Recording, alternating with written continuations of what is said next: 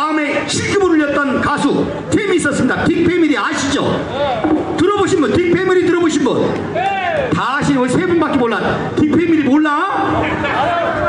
자 아실 거예요. 자 그 멤버로 활동했던 우리 가수입니다. 지금은 혼자 예 혼자 싱어로 이제